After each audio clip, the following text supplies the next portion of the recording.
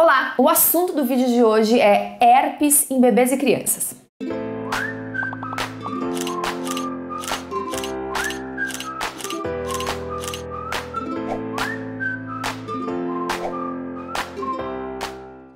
Gente! O assunto do vídeo de hoje é herpes em bebês e crianças e duas inscritas aqui do canal me pediram para falar sobre isso. Foi a Rubiana e a Elisa. As duas fizeram esse pedido, então estou aqui, estou atendendo. Mas eu quero fazer um pedido para vocês também. Você segue o canal, você acompanha, você vê meus vídeos, não é inscrita ainda? Inscreva-se já aqui no canal e não esqueça de apertar no sininho, porque toda vez que você clica no sininho, você recebe alertas de quando o vídeo foi pro ar e aí você não perde nenhum conteúdo e assiste antes dos outros. Vamos lá. Primeira pergunta: herpes é algo comum ou é algo raro em bebês? Gente, é bem comum herpes em bebês, até porque a grande maioria da população tem o vírus da herpes, né, no organismo. Mais ou menos 90% das pessoas têm. Tem pessoas que têm e nunca tiveram nenhum episódio, nunca apareceu, né, nenhuma nenhuma feridinha e nada, mas elas têm e então é comum, porque as crianças acabam tendo contato com adultos e acabam de alguma forma pegando. Então não precisa se preocupar se seu filho teve um episódio de herpes, porque é algo comum. Mas o que é, afinal, a tal da herpes? Herpes, gente, é uma infecção viral, é um vírus e existe de dois tipos. Existe herpes do tipo 1 e existe herpes do tipo 2. A herpes do tipo 1, ela é a mais comum em crianças, né? Ela é a labial e a herpes do tipo 2, ela é mais comumente uh, aquela herpes genital. E como transmite herpes? Gente, aqui, cuidado, importante, atenção. Herpes pode ser transmitida, é transmitida muito comumente através do beijo. Então, por isso, o alerta. Gente, vamos evitar beijar bebês tá bom? Porque você pode estar tá com o vírus da herpes, nem saber que tá, não tá com nenhuma lesão, aí vai lá, beija o bebê e pum, passa pra criança. Então, explicando um pouco melhor. O vírus, ele é transmitido através da saliva ou através das feridas, né? Do contato com a ferida. E aí, por isso, toda essa questão do beijo, porque tem, né? Você vai dar um beijo, sua saliva tá lá contaminada, a sua ferida tá lá, a pessoa que tá com a ferida, obviamente, né? Evita beijar. Agora, a, a pessoa que tá com o vírus, o vírus tá lá, tá ativo no organismo dela, só que não apareceu a ferida, ele já tá na saliva, ela passa quando for beijar. Então, gente, o grande problema, na verdade, é a saliva. Como eu falei, né? Quando a pessoa tá com a feridinha, ela sabe, não vai beijar. Agora, a pessoa tá com o vírus na saliva, naquele momento, ela vai, ela beija, ela transmite e ela nem sabe que ela tá transmitindo. Então, esse é o grande problema de sair por aí beijando o rostinho de bebê. Não dá, tem que tomar muito cuidado. E como os bebês pegam herpes? Gente, já falei que tem todo esse cuidado com o beijo. Continua valendo, tá? Esse chamado aqui do cuidado com o beijo em bebês, mas importante, 85% dos casos de bebês que têm herpes, essa contaminação acontece na hora do parto, porque a mãe pode estar com a herpes do tipo 2, né, na área genital, e daí a criança na hora do parto, sendo um parto vaginal, ela acaba pegando o vírus. Então, por isso é muito importante, né, que o médico, na hora que for fazer o parto, avalie a área genital da, da mulher, da mãe, veja se tem alguma lesão e se houver alguma lesão naquele momento, a indicação é que o parto seja cesárea para justamente evitar essa contaminação. 5% dos bebês também pegam herpes enquanto ainda estão dentro do útero e os outros 10% acabam pegando, né, ou através do contato com lesão, com a saliva ou através do contato com a mama da mãe, que pode estar tá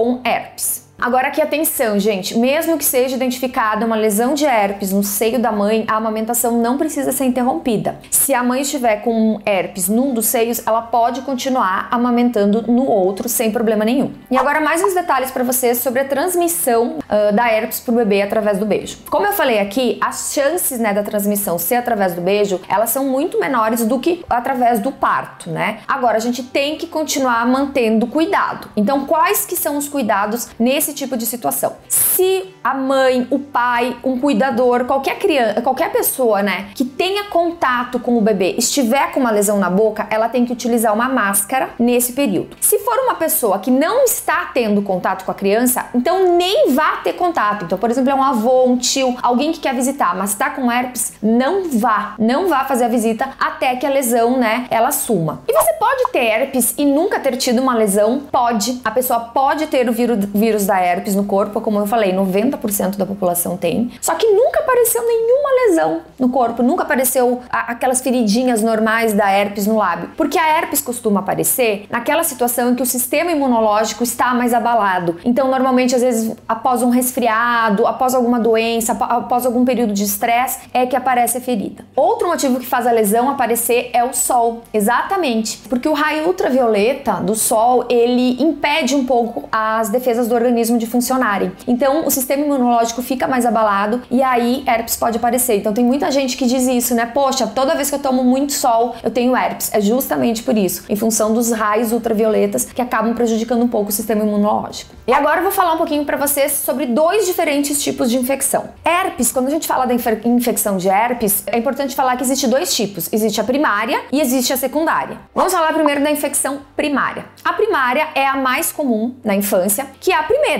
a primeira vez que você pega herpes, é o primeiro contato, né, a primeira situação. Então, normalmente acaba acontecendo na infância. Essa é a mais comum da infância. Frequentemente, essa primária ela acontece entre os seis meses de vida até os cinco anos, tendo uma prevalência maior aí entre os dois anos de vida e os três anos de vida. E o que, que pode acontecer? A criança pode ter, né, essa, essa infecção, pode ser a primeira vez e ela pode não ter sintoma nenhum, pode não aparecer nada, como, por outro lado, por ser a primeira também, ela pode ser bastante dolorida e até preocupante. E quais são os principais sintomas dessa infecção primária, que é a preocupante? A criança ela vai ter lesões, então ela vai ter lesões nos lábios, na mucosa, na língua, no palato a gengiva da criança acaba ficando inflamada também. A criança, né, com toda essa, essa região machucada, ela para de se alimentar, ela para de ingerir alimento, inclusive líquidos. Ela é tão, é tão desconfortável engolir qualquer coisa que a criança para de se alimentar e para de tomar líquido. E isso é extremamente preocupante, porque pode, né, causar uma desidratação. A criança pode começar a babar bastante também. A criança pode apresentar febre, uma febre alta de até 40 graus, e a criança acaba ficando bastante irritada. As manifestações, né, no corpo dessa criança, elas vão variar dependendo da idade com que a criança, né, teve a primeira a, essa infecção primária e vão variar também de acordo de, com como está o sistema imunológico dessa criança, tá? Então pode ser que ela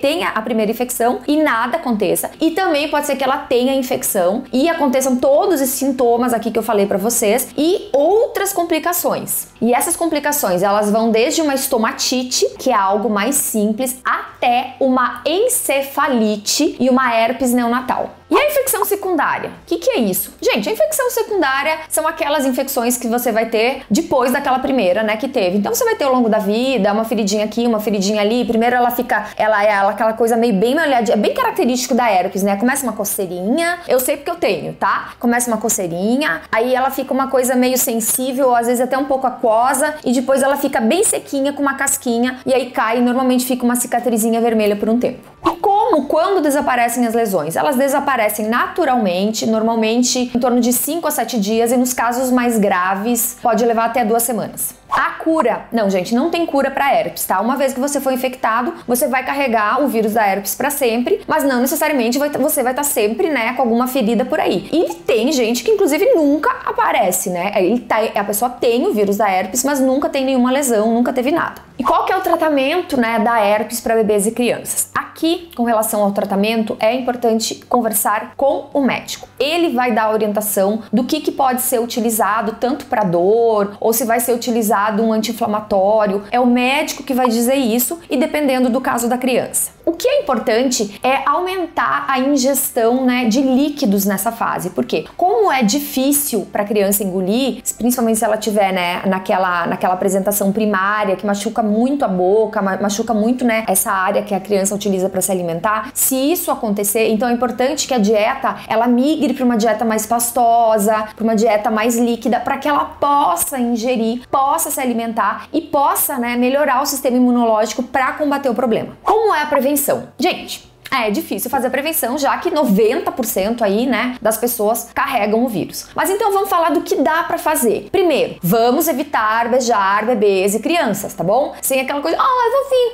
beijinho, Vamos evitar. Claro, pai e mãe não tem muito como evitar, vai acabar beijando. Agora, se você tiver, né, com um bebê em casa, uma criança em casa e você tá com a lesão, utilize máscara. Evite também, né, que o seu filho tenha contato com alguma criança que está com estomatite. E outra coisa também bastante importante é você observar se o seu filho apresentou febre e não tem nenhum motivo aparente para isso. Muitas vezes acontece isso, né? A gente tá com a criança em casa, não tem nariz escorrendo, não tem nada e a criança tá com uma febre alta. Vale a pena conversar com o médico, vale a investigar porque pode ser herpes. Espero que o vídeo tenha sido útil. Aproveite e compartilhe com outras pessoas.